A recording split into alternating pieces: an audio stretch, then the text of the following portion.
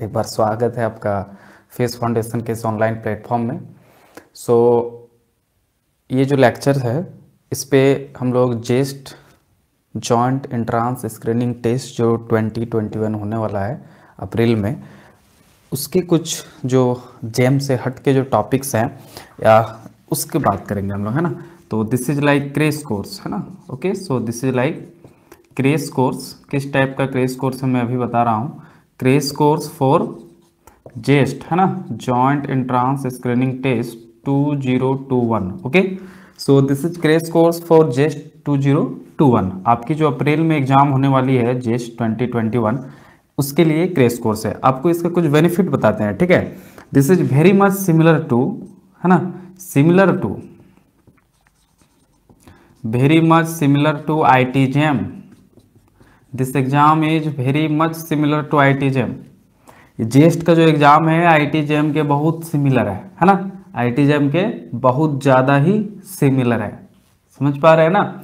और I T JAM के similar है मतलब कहने का ये मतलब है कि अगर किसी का जैम में नहीं होता है, अगर किसी का जैम खराब गया या किसी कारणवश कुछ हो गया गड़बड़ तो आप यकीन मानो आपके लिए दूसरा आईटी जैम है जेस्ट दूसरा आईटी जैम है JEST this is second IT JAM for your life भगवान ने आपको कहा कि आप अगर एक बार में आईटी जैम फेल हो गए तो दोबारा आईटी जैम दो and that is called JEST that is called JEST so mind it बहुत बच्चे ना इसको बहुत हार्ड में लेते हैं। हार्ड में तो इसको लेना नहीं है। जेस्ट आईटी जैम का दूसरा रूप है। क्या है आईटी जैम का दूसरा रूप है? बच्चों, इसको एकदम दिल में बैठा लो। मेरा एक्सपीरियंस है कि जेस्ट क्या है? आईटी जैम का दूसरा रूप है। एंड नथिंग एल्स इसमें कोई रॉकेट साइंस नहीं है बेटा। टीएफआर थोड़ा सा मान सकते हैं, लेकिन जेस्ट कतई रॉकेट साइंस नहीं है। क्लियर है? सबको ये बात क्लियर हो गया? बिल्कुल। अगर जेब में नहीं अगर जेम में किसी का नहीं हुआ चौदह फरवरी को तो बेटा अप्रैल में जो जेस्ट होने जा रहा है, वो आपको भगवान ने दो मंथ का फिर से टाइम दिया और कहा फिर से जेम दो। It is similar to JAM अलग क्या है जेम से? वो अभी आज हम बात करने वाले हैं और उसी के लिए क्रेस कोर्स लेके आए हैं। कि अलग क्या करना है थोड़ा सा दो महीना में। समझ पा रहे हो? थोड़ा सा दो महीना में क्या करना है? जेस्ट ओरिएंटेड होके पढ़ना है एंड नथिंग एल्स। यकीन मानो, जेम से भी अच्छा आपको मैं अपना एग्ज़ाम्पल देता हूँ। मेरी जेम में, मेरी जेम में ए आर थी टू फिफ्थ सेवन मतलब टू फाइव सेवन ये जेम में ए आर थी। और आपको पता है मेरे जेस्ट में ए आर कितनी थी? अब, अभी एक चीज़ बड़ा मस्त बताता हूँ वन सिक्स सेवन आप में से बहुत लोग सोच रहे होंगे, सर, हो सके आप जेस्ट लेवल का तैयारी कर रहे होंगे। तो मैं आपको बता दूँ कि मैं जेम लेवल का तैयारी कर रहा था और उसमें भी मुझे कॉन्फिडेंस नहीं था कि मेरा रैंक 500, 600, 700, 800 भी आएगा। उसमें भी मुझे 10 परसेंट कॉन्फिडेंस नहीं था। लेकिन हाँ मैं पढ़ता था। मैं पढ़ता था और मेरे को विश्वास था कि सब होगा। ठीक है ना? जेस्ट ओरिएंटेड होके पढ़ा भी था दो दिन। मतलब पूरा हम लोग के समय तो फरवरी में ही सब कुछ हो गया था। तो कुछ नहीं करना है। देखो ये क्या बता रहा है? ये ये बताता है कि अगर आप जेम का पढ़ रहे हो तो जेस्ट उसका दूसरा रूप है। मेरा जेम थोड़ा सा खराब गया था तो मेरे टीचर ने कहा था कि तेरा जेस्ट पक्का अच्छा जाएगा, बस तू अच्छे से दो दिन अपने आप को कॉन्स्टेंट रखा। और हुआ भी ऐसा ही। तो यकीन मानो, जिसका जिसका जेम खराब जाएगा, ये दूसरा जेम है जेस्ट। यहाँ पे फोड़ के आ जाओ। बस, और इस बार आपके लिए गोल्डन अपॉर्चुनिटी है। ये क्रेश कोर्स लेके मैं नहीं आता, लेकिन इस बार क्या है? कोविड 19 ने आपको गोल्डन अपॉर्चुनिटी दिया है। किसने? कोविड 19 ने। कोविड 19 ने आपको गोल्डन अपॉर्चुनिटी दिया है। इस गोल्डन अपॉर्चुनिटी को छोड़ना मत। एंड दिस इज़ व्हाट इसलिए हमने एक रेस कोर्स लेके आया। अदर ईयर क्या होता था कि जेएम का एग्ज़ाम हुआ, एक दो दिन उसके नेक्स्ट एक सप्ताह बाद जेस्ट का होता तो एक सप्ताह में क्रेस कोर्स लाना पॉसिबल नहीं है, क्योंकि एक सप्ताह में आप क्या ही पढ़ा देंगे। लेकिन इस बार क्या है? कि आपको लॉट ऑफ़ टाइम मिल रहा है। पूरे दो मंथ का समय मिल रहा है। फरवरी के बाद मार्च नहीं, अप्रैल में एग्ज़ाम है। इस दो महीना में तो पूरा जेम का सिलेबस आधा पढ़ा जा सकता है, सत्तर परसेंट, साठ परसेंट, है ना? तो फिर जेस्ट का ग्रेस सोर्स क्या है? ये तो बहुत पॉजिटिव टाइम है, बहुत पॉजिटिव टाइम है जिन लोग जेम लास्ट में बहुत बाद में शुरू किए थे या जो जेम बहुत पहले से कर रहे थे, बहुत अच्छा जिनके जेम में तैयारी है, लेकिन वो कुछ भी नया टॉपिक नहीं पढ़ पाए, उनके लिए है जेस्ट क्रेस कोर्स इसमें सिर्फ़ अपन नया टॉपिक का बात करेंगे जो एमएससी फ़र्स्ट ईयर का सिलेबस का है, जो टी में पूछा जाता है और जेस्ट में पूछा जाता है। और वो बहुत ही आसान है, जैसे आप आप मतलब जेम क्या बीएससी का चीज़ पूछा जाता है। अब उसमें एमएससी का चीज़ पूछा जाता है, लेकिन अगर आप एमएससी वाला थोड़ा थोड़ा पढ़ लेंगे तो भी तो आसानी ना है जी। ऐसा थोड़ा एमएससी का सब चीज़ हार्ड है। इंटर में था तो लगता था बीएससी हार्ड है। बीएससी में क्या तो क्या? बीएससी का सारा चीज़ हार्ड लगा नहीं। वैसे एमएससी का भी सारा चीज़ हार्ड नहीं है। बहुत सिंपल वे में मैं आपको बहुत ही सिंपल वे में पढ़ाऊँगा, बहुत ही यूजफुल कॉन्सेप्ट और ट्रिक दूँगा और प्रॉब्लम्स करवाऊँगा। ठीक है? And that is more than enough मतलब एक अच्छा बूस्टर के काम करेगा आपके लिए। क्लियर है सबके लिए? तो एक रेस कोर्स किसके बारे में सबको पता चल गया होगा?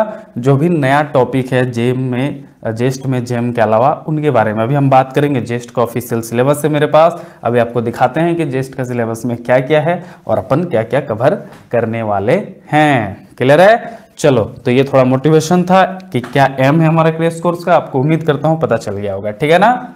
ओके चलो, आगे बढ़ते हैं। ठीक है?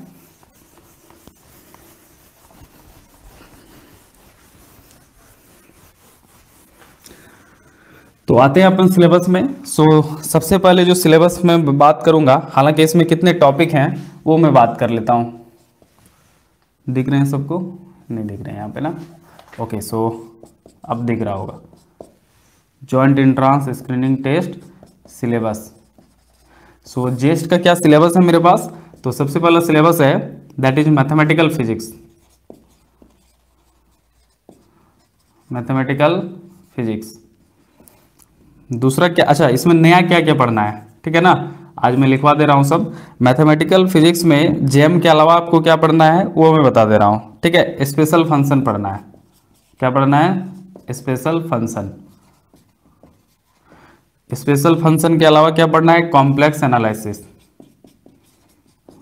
मैं उन्हीं टॉपिक का नाम लिखवा रहा हूँ जो जेम के अलावा आपको पढ़ना है यहाँ पे नया। उसके बाद Fourier series and Fourier transform Fourier series आपने पढ़ा होगा। तो मैं सिर्फ़ फोरियर ट्रांसफॉर्म लिख रहा हूँ। है ना? फोरियर सीरीज़ आपने जैम में पढ़ रखा होगा। उसके बाद है लाप्लास ट्रांसफॉर्म। ये दो चीज़ आपने शायद जैम में, सिलेबस में नहीं है, नहीं पढ़ा होगा। है ना? उसके बाद है प्रोबेबिलिटी थ्योरी है। तो ये मैं नहीं पढ़ाऊँगा। प्रोबेबिलिटी थ्योरी मैं खुद नहीं पढ़ा तो आपको कैसे पढ़ाऊँ? सो so, कोई चाहता है इंटरेस्टेड है तो पढ़ सकता है कभी कभार एक आध सवाल आता है। बाकी मैं ये सारा चीज़ पढ़ाऊँगा। Special function complex analysis Fourier transform और लाप्लास ट्रांसफॉर्म ठीक है? तो ये था भैया मैथमेटिकल फिजिक्स दो नंबर में आता है क्लासिकल मैकेनिक्स दूसरा दो नंबर का सिलेबस क्या है? क्लासिकल मैकेनिक्स इसमें नया क्या है? जेम के अलावा ठीक है ना? जेम के अलावा इसमें है generalize coordinates principle of least action क्या है? Generalized coordinates generalized coordinates and principle of principle of list action principle of least action उसके बाद है आपको पढ़ना Lagrangian and Hamiltonian formulation of mechanics Lagrangian and Hamiltonian formulation कैसे ये लोग बनता है है ना? फॉर्मुलेशन ऑफ़ मैकेनिक्स एल मतलब लैंग्रेंजियन है और एच मतलब हैमिल्टोनियन, ठीक है? सिमेट्री एंड कंजर्वेशन लॉज ये भी इंपॉर्टेंट टॉपिक है। सिमेट्री एंड कंजर्वेशन लॉज ठीक है? उसके बाद है आपके पास cap central force problem central force problem then है आपके पास कैपलर प्रॉब्लम देन है आपके पास कैपलर प्रॉब्लम उसके बाद है स्मॉल ओसिलेशन और रिलेटिविटी स्मॉल ओसिलेशन ये हम पढ़ा चुके हैं ये टॉपिक है ना? स्मॉल ओसिलेशन और special theory of relativity special theory of relativity तो ये आप जैम में पढ़ चुके हैं। ये तो स्पेशल ओसिलेशन पे हमने बहुत सारे क्वेश्चन करवाया है। जब मैं जेम के क्लासिकल मैकेनिक्स करवा रहा था तो इन स्पेशल ओसिलेशन और स्पेशल थियर रिलेटिविटी आपने जो जेम में पढ़ा है, वही पढ़ना है। तो ये दो को मैं कट करता हूँ। बाकी कैपलर्स प्रॉब्लम में बहुत लोगों ने पढ़ा होगा, लेकिन फिर भी मैं यहाँ पे करवाऊँगा। तो ये सारा चीज़ मैं यहाँ पे करवाने वाला हूँ कवर ठीक है? जेस्ट के लिए नया है। बाकी जो है वो जेम का है। ठीक है ना? मैं आपको सिलेबस भी सेंड कर दूँगा। अच्छा देखो मज़ेदार बात कि जेम का भी सारा चीज़ नहीं पढ़ना है। जेएम का कुछ कुछ छटा हुआ चीज़ यहाँ पे पढ़ना है। तो आप बिल्कुल सिलेबस देख के ही जेस्ट के लिए पढ़ेंगे। जो जो है उसको टिक मार लेंगे, सिलेबस प्रिंट कर लेंगे, जेस्ट जेएम का एग्ज़ाम खत्म होते ही, ठीक है, फिर उसके बारे में पढ़ेंगे, है ना? समझ पा रहे हैं? तो जेम के अलावा क्या आप जेस्ट में पढ़ना है? मतलब जेम के कुछ कुछ टॉपिक पढ़ने हैं और ये सब कुछ कुछ टॉपिक जो अलग पढ़ने हैं, जो एमएससी के हैं, जो नेट गेट के सिलेबस के हैं, उनको मैं कवर करूँगा सिर्फ़। क्लियर है?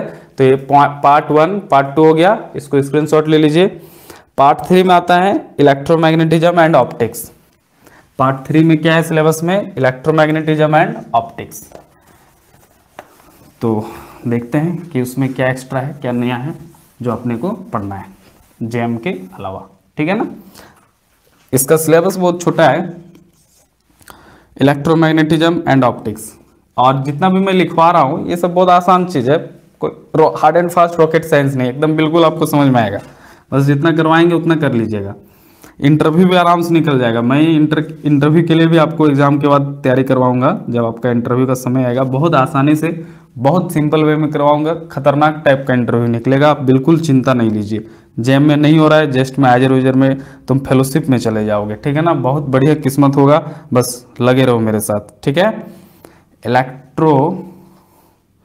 Electromagnetism electromagnetism and optics third जो सिलेबस का पार्ट है वो ये है। इसमें नया क्या पढ़ना है वो मैं आपको बताता हूँ, ठीक है? Fields in conducting okay so Faraday's law and time varying fields Faraday's law हालाँकि ये बीएससी जेएम में भी लोग पढ़ते हैं Faraday's law and time varying फिर भी बहुत लोग इसको नहीं पढ़ पाते हैं, जहाँ तक मुझे अनुभव है तो मैं करवा दूँगा। Faraday's law and time varying fields ठीक है? ये टॉपिक मैं करवाऊँगा। Then we will move to the displacement current displacement current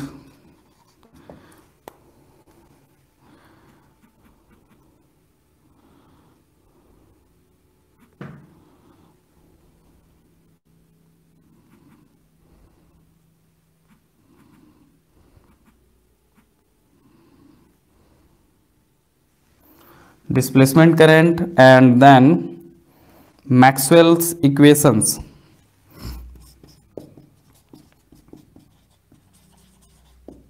Maxwell's equations.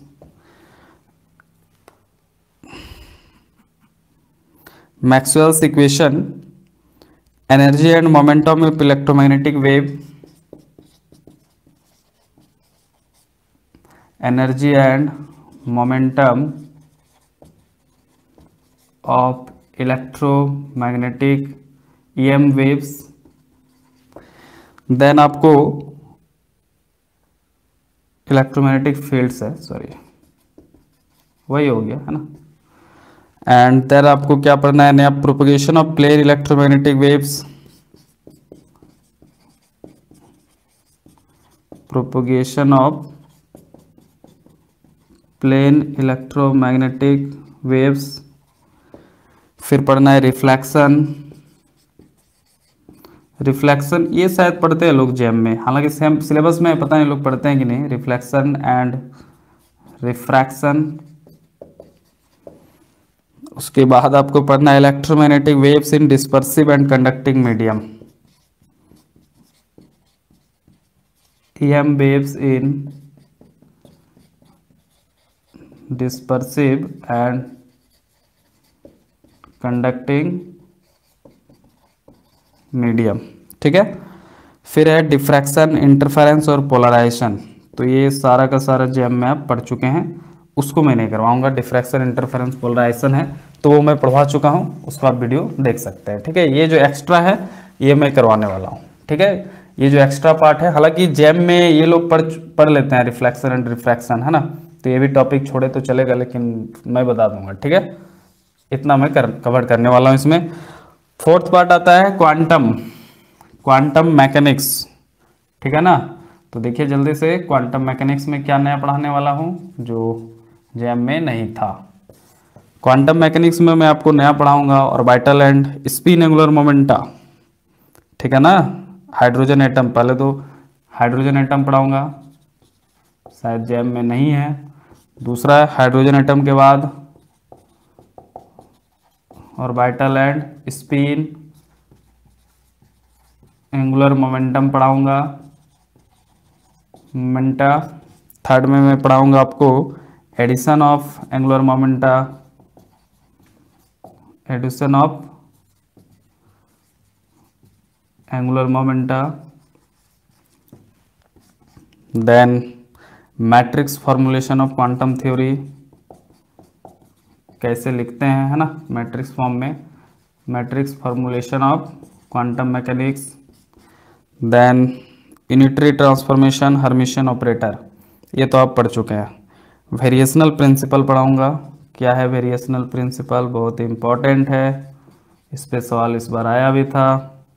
एक लाइन का एक डिफिनेशन है ट्रिक है, उस पर क्वेश्चन आते रहता है ना। फिर पढ़ाऊँगा time independent perturbation theory time independent perturbation theory PT है ना? हालाँकि टाइम डिपेंडेंट पर्टर्वेशन थ्योरी भी यहाँ पे दे रखा है, लेकिन मैं वो नहीं पढ़वाऊँगा आपको, सिर्फ़ अभी क्या पढ़ाऊँगा? टाइम इंडिपेंडेंट पर्टर्वेशन थ्योरी ही पढ़ाऊँगा, ठीक है? तो ये टॉपिक मैं क्वांटम मैकेनिक्स में आपको पढ़वाने वाला हूँ क्लियर है? सो चलिए स्क्रीनशॉट ले लीजिए जल्दी से। ले लिया सबने? ओके आगे बढ़ते हैं। लास्ट दो टॉपिक बचा है electronics thermo and statistics clear है? चलो स्क्रीनशॉट ले लो। इलेक्ट्रॉनिक्स में तो सारा का सारा आई टी का है, ठीक है? तो उस पर कुछ भी तीर मारने का ज़रूरत है नहीं, ओके? सो उस पर कुछ भी नया नहीं करने का। स्टेट मैक पूरा थर्मोडाइनमिक्स जैम का है, बस स्टेटिस्टिकल मैकेनिक्स है ना? ये जो नेक्स्ट टॉपिक है, ये कितना नंबर फाइव है ना? फाइव नंबर में है थर्मो एंड स्टेटिस्टिकल मैकेनिक्स ठीक है? स्टेट मैकेनिक्स तो इस पर नया क्या पढ़ना है? नया आपको पढ़ना है ensemble different types of ensembles पढ़ने हैं आपको पार्टीशन फ़ंक्शन पढ़ने हैं आपको.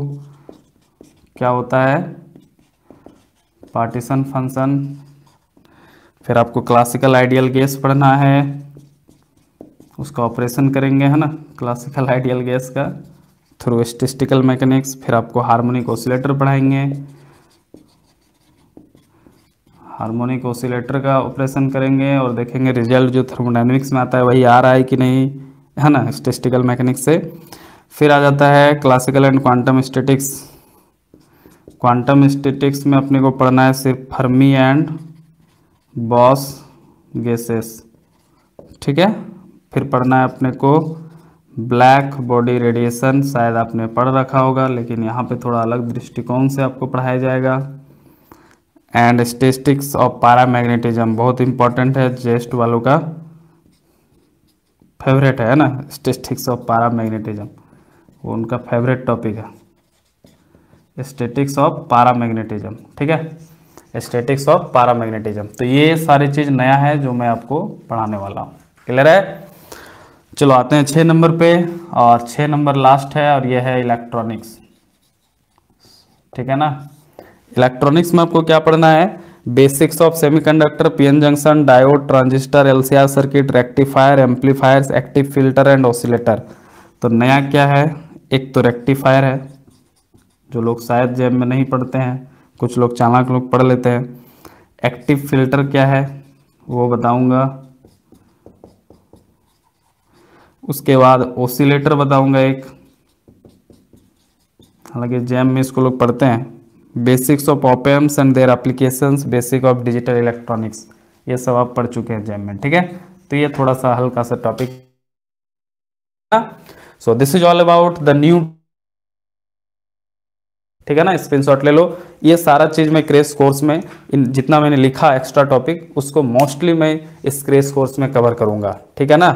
इन सारे टॉपिक को मोस्टली मैं कॉन्सेप्ट के थ्रू फॉर्मूला के थ्रू और कुछ प्रॉब्लम्स के थ्रू प्रीवियस ईयर मैं टैकल करूँगा। ठीक है ना? तो चलिए स्क्रीनशॉट ले लीजिए, आगे बढ़ते हैं फटाफट। ठीक है? शुरू करते हैं। लेक्चर शुरू करते हैं, पढ़ाना शुरू करते हैं। ठीक है ना? तो आज के लेक्चर में अपन बात करेंगे, किसका बात करेंगे? सबसे पहले अपन बात करेंगे इलेक्ट्रोमैग्नेटिज्म एंड ऑप्टिक्स सबसे पहले हम लोग कहाँ से शुरू करेंगे पढ़ना? इसको ख़त्म कर लेते हैं, फिर आगे बढ़ेंगे, ठीक है ना? Electromagnetism and optics.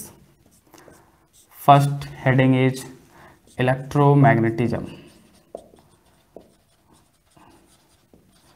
Electromagnetism and optics ये जो टॉपिक है, ये पांचवा नंबर सिलेबस का सिलेबस का पार्ट फाइव था, नहीं?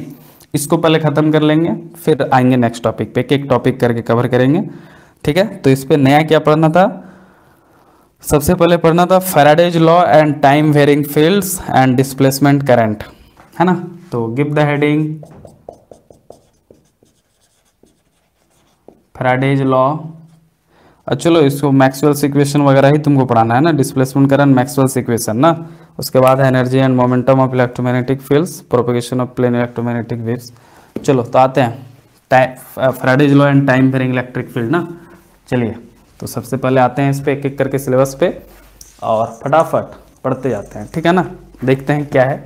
तो मैंने अपना नोट्स ले लिया है, ताकि आपको फटाफट हम पढ़ाते जाएँ। अब इलेक्ट्रोमैग्नेटिक वेव्स क्या है तो सबको मालूम ही होगा, ठीक है ना? चलिए तो सबसे पहले हेडिंग देते हैं induced electric field give the heading induced electric field ठीक है ना? ये इंड्यूस्ड इलेक्ट्रिक फ़ील्ड है। तो इसका कारण क्या है? तो चलिए, इसका अंदर में आते हैं। तो लिखिए variable magnetic field induces electric field variable magnetic field variable magnetic field induces electric field कैसे? अभी मैं इसका पूरा कहानी बता देता हूँ आपको, ठीक है ना? इसका पूरा मैं कहानी बता देता हूँ कि कैसे ऐसा होता है। ठीक है? मान लीजिए, कैसे कैसे time varying magnetic field electric field produce करता है? देखिए, इसका इसका मतलब ओरिजिनेट ही कहाँ से हुआ? थोड़ा सा मैं आपको हिस्ट्री बताता हूँ। मान लीजिए यहाँ पे एक लूप है। मान लीजिए यहाँ पे एक लूप है। ठीक है ना? और इसी रीजन में, इसी रीजन में यहाँ पे मान लीजिए कि एक मैग्नेटिक फ़ील्ड है इनसाइड या इस रीजन में एक मैग्नेटिक फ़ील्ड है इनसाइड, जिसका रेट ऑफ़ चेंज है डी बाई डी और ये समय के साथ इंक्रीज कर रहा है। इस रीजन में एक मैग्नेटिक फ़ील्ड है क्रॉस का मतलब वो क्रॉस का मतलब इनसाइड है और वो क्या कर रहा है? D B by d t positive quantity है plus d B by d t है मतलब उसका जो रेट ऑफ़ चेंज है मतलब समय के साथ जो है वो बढ़ रहा है, ठीक है ना? D B by d t arrow ऊपर दिए मतलब मैग्नेटिक फ़ील्ड समय के साथ चेंज हो रहा है और वो इंक्रीज कर रहा है और डायरेक्शन है इनसाइड ठीक है? तो आपको मालूम है कि डायरेक्शन अगर इनसाइड है और मैग्नेटिक फ़ील्ड बढ़ रहा है समय के साथ में तो लैंड लॉ क्या कहता है कि ये जो क्वाइल है इसमें एक इस तरह से करंट इंड्यूस्ड होगा कि वो इस मैग्नेटिक फ़ील्ड का अपोज करेगा। तो अगर अंदर की ओर बढ़ रहा है तो अपोज करने का मतलब क्या होता है कि इस तरह से यहाँ पे इलेक्ट्रिक फ़ील्ड जनरे करंट और ई एम इंड्यूस्ड होगा कि मैग्नेटिक फ़ील्ड वो बाहर की ओर जनरेट करेगा, तभी तो उसको अपोज करेगा, क्योंकि बढ़ रहा है। अगर घट रहा होता अंदर की ओर तो फिर उसका अपोज करता मतलब वो अंदर की ओर ही बढ़ाने लगता मैग्नेटिक फ़ील्ड लेकिन अभी अंदर की ओर मैग्नेटिक फ़ील्ड बढ़ रहा है तो उसका अपोज करेगा मतलब ये बाहर की ओर मैग्नेटिक फ़ील्ड सेटअप करेगा। तो बाहर की ओर मैग्नेटिक फ़ील्ड सेटअप करने के लिए, है ना ये हैंड रूल लगाओ। राइट हैंड रूल तो करंट किस तरह से लूप में, इस इनर लूप में करंट किस तरह से बहना चाहिए? इस तरह से। तब तो बाहर की ओर मैग्नेटिक फ़ील्ड सेट कर पाएगा ये। करंट इंड्यूस्ड करंट इस तरह से होगा। मतलब इंड्यूस्ड करंट एंटी क्लॉकवाइज इसमें बहेगा, इस तरह से, है ना? एंटी क्लॉकवाइज इंड्यूस्ड करंट बहेगा। क्लियर है सबको? करंट इसमें किस तरह से लूप में बहेगा? एंटी क्लॉकवाइज सो दैट कि मैग्नेटिक फ़ील्ड बाहर की ओर सेट करेगा और इस अंदर की ओर जो बढ़ रहा था टाइम के साथ मैग्नेटिक फ़ील्ड उसको अभी अपोज करेगा। क्लियर है? अगर ये घट रहा होता तो करंट फिर क्लॉकवाइज बहता ताकि घटने का विरोध करता। है मतलब और इंक्रीज जो घटना होता है उसका विरोध करता। है जैसे अंदर की ओर घटता तो फिर अंदर की ओर लगा कि उसको बढ़ाता। तो घटने का विरोध मतलब बढ़ाना। बढ़ रहा है तो उसका विरोध घटाना तो अपोजिट डायरेक्शन में लगाएगा मैग्नेटिक फ़ील्ड तो कैंसिल हो जाएगा। समझ पा रहे हैं ना? तो ये होता है लेंस लॉ इसका मतलब इस टाइम वेरिंग मैग्नेटिक फ़ील्ड के चलते हम लोग इतना तो पढ़े हैं क्लास ट्वेल्व में कि एक इस क्वाइल में करंट इंड्यूस्ड हो जाएगा। अच्छा बेटा करंट इंड्यूस्ड हो रहा है, इसका मतलब करंट अगर इस डायरेक्शन में घूम रहा है मतलब इलेक्ट्रॉन किस डायरेक्शन में घूम रहा होगा? इलेक्ट्रॉन का मोशन करंट के अपोजिट में होता है, यानी कि इलेक्ट्रॉन जो है वो इस डायरेक्शन में मूव कर रहा होगा। इलेक्ट्रॉन इस डायरेक्शन में मूव कर रहा होगा, कोई दिक्कत वाली बात नहीं है, सर। नहीं है ना? अच्छा तुम एक बात बताओ, इलेक्ट्रॉन इस डायरेक्शन में अगर मूव कर रहा है तो ये किसके चलते मूव कर रहा होगा? ज़रूर इसको कोई फोर्स लग रहा होगा। तो बताओ, मैग्नेटिक फोर्स क्या होता है? मैग्नेटिक फोर्स क्या होता है? F M is equal to F M is equal to q into v cross B. यही होता है ना? और इलेक्ट्रिक फ़ील्ड सॉरी यही होता है ना मैग्नेटिक फोर्स अब तुम हमको बताओ इनिशियली इलेक्ट्रॉन को वेलोसिटी कहाँ से आया? लुक तो शांत था। एक टाइम वेरिंग मैग्नेटिक फ़ील्ड हमने सेटअप किया। तो करंट बहना इंड्यूस्ड करंट बहना शुरू हुआ, लेकिन इंड्यूस्ड करंट बहा होगा इलेक्ट्रॉन के मोशन के चलते तो इलेक्ट्रॉन इनिशियली मोशन में कैसे आया? Initially average velocity of all the electron should be zero initial velocity zero तो सब रेस्ट में था ना। तो इनिशियली तो कोई मैग्नेटिक फोर्स नहीं लगा इसका मतलब। मतलब मैग्नेटिक फोर्स इनिशियली इस इलेक्ट्रॉन को नहीं घुमाया। तो कौन था भाई? कौन था दूसरा फोर्स क्या हो सकता है? सबको मालूम है दूसरा फोर्स ही हो सकता है। इलेक्ट्रिक फोर्स जो चार्ज इंटू इलेक्ट्रिक फ़ील्ड होता है। तो इसका मतलब अगर मैग्नेटिक फोर्स नहीं लगा क्योंकि एवरेज वेलोसिटी इनिशियली सारा इलेक्ट्रॉन का ज़ीरो होता है क्योंकि रैंडम मोशन में होते हैं। समझ पा रहे हैं ना? तो इनिशियली सब मान के चलते हैं कि उनका एवरेज वेलोसिटी ज़ीरो है। तो मैग्नेटिक फोर्स तो लगा नहीं तो फिर कौन इनको घुमाया भाई? इस इस लुक में कौन घुमाया उनको? तो ज़रूर कोई इलेक्ट्रिक फोर्स लग रहा होगा। और कोई इलेक्ट्रिक फोर्स लग रहा होगा, इसका मतलब डेफिनेटली कोई इलेक्ट्रिक फ़ील्ड लग रहा होगा। अच्छा इनका घूमने का मोशन इस डायरेक्शन में है। मतलब ज़रूर कोई फोर्स इस डायरेक्शन में लग रहा होगा टेंजेंशियल डायरेक्शन में। ज़रूर कोई force electric force tangential direction में लग रहा है जो इनको घुमा रहा है। इसका मतलब ज़रूर कोई इलेक्ट्रिक फ़ील्ड टेंजेंशियल डायरेक्शन में ज़रूर कोई इलेक्ट्रिक फ़ील्ड टेंजेंशियल डायरेक्शन में। है कि नहीं? समझ पा रहे हो ना? इट क्लियर और नॉट अच्छा और आपको मालूम है कि अगर इलेक्ट्रॉन नेगेटिवली चार्ज है तो इलेक्ट्रॉन अगर इस डायरेक्शन में मोशन कर रहा है तो हमारा इलेक्ट्रिक फ़ील्ड किधर सेटअप होगा? उसके जस्ट अपोजिट डायरेक्शन में इलेक्ट्रिक फ़ील्ड का डायरेक्शन होगा और फोर्स का डायरेक्शन होगा। तो ज़रूर ज़रूर कोई इलेक्ट्रिक फ़ील्ड हमारा इस डायरेक्शन में काम कर रहा है। यानी कि ज़रूर कोई हमारा इलेक्ट्रिक फ़ील्ड इस डायरेक्शन में इस तरह से टेंजेंशियल इलेक्ट्रिक फ़ील्ड यहाँ पे है, जो इन इलेक्ट्रॉन्स को क्या कर रहा है? इलेक्ट्रिक फोर्स लगा रहा है और इनको क्या कर रहा है? घुमा रहा है। यानी कि इलेक्ट्रिक फ़ील्ड किस तरह से प्रोड्यूस हुआ? Circular electric field lines produce हो रहा है। These are the circular circular electric field lines circular electric field lines produce हो रहा है। किसके चलते बेटा? इस टाइम वेरिंग मैग्नेटिक फ़ील्ड के चलते। इस टाइम वेरिंग मैग्नेटिक फ़ील्ड के चलते। इसका मतलब कहानी क्या निकला? कि variable magnetic field time varying magnetic field induces electric field यानी टाइम वेरिंग मैग्नेटिक फ़ील्ड बेटा क्या करता है? एक इलेक्ट्रिक फ़ील्ड ज़रूर इंड्यूस्ड करता है। जिसके चलते एक इलेक्ट्रिक फोर्स लगता है इलेक्ट्रॉन पे, और वो लोग घूमना स्टार्ट करता है, जिसके चलते ही इंडूस्ड करेंट वाला कंसेप्ट आता है जो तुम क्लास ट्वेल्व में पढ़ा है। चाहे ये घट रहा होता है या बढ़ रहा होता, बस कहानी उल्टा हो जाता। फ़ील्ड लाइन्स का डायरेक्शन चेंज होता है and all things are change but ये तो समझ गया कि आयदर मैग्नेटिक फ़ील्ड समय के साथ घट रहा हो या बढ़ रहा हो, ये जो इंड्यूस्ड करंट आता है ना, वो इंड्यूस्ड इलेक्ट्रिक फ़ील्ड के चलते आता है, क्योंकि एवरेज वेलोसिटी इनिशियली ज़ीरो होता है तो मैग्नेटिक फोर्स कारण ही नहीं होता है इलेक्ट्रॉन को घुमाने का। सबको क्लियर है? ये इंटरव्यू का सवाल है। ये इसलिए आपके जेस्ट का काम का नहीं है। अभी तुम इससे सीधा फॉर्मूला लिखा देता है ना इंटरव्यू में जेस्ट में पूछता है। ठीक है ना? बार बार रिवीजन करते रहिएगा। चलिए, इसको फटाक से इतना पिक्चर को लिख लीजिए, अब हम लोग फॉर्मूला पे आते हैं कि इसका सीधा सीधी फॉर्मूला क्या है। ठीक है ना? चलो चलो, फटाक से स्क्रीनशॉट ले लिया, आप पूरा कहानी समझ में आएगा, पूरा इलेक्ट्रोमैग्नेटिक इंडक्शन अब तुमको समझ में आएगा। मतलब जो भी जेस्ट का सिलेबस अभी पढ़ाने वाले नेट जेट मतलब नेट और गेट ये सब सब एग्ज़ाम में सब निकल जाएगा, ठीक है ना? समझ रहा है ना? और कुछ एक्स्ट्रा आपको पढ़ना नहीं, जीवन में यही सब पढ़ना है। थोड़ा बहुत एक्स्ट्रा पढ़ना है। मिटा दें इसको? चलो। ये कहानी हिस्ट्री तो समझिए, आप फॉर्मूला पे आते हैं। तो भैया, अगर ऐसा है तो फिर फॉर्मूला क्या होगा?